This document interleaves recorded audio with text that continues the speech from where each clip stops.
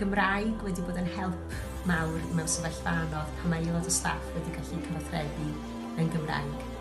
A dwi wir yn gweld gwerth gallu cael uh, y gofal oll bwysig na uh, drwy gyfrwng Gymraeg. A fi'n cofio hyd heddi y peth pwysicau ni fel teulu wedi cael mas ohono fe oedd y ffaith bod hi'n gallu siarad Cymraeg a bod ni'n gallu siarad Cymraeg gyda'r doctoriaid.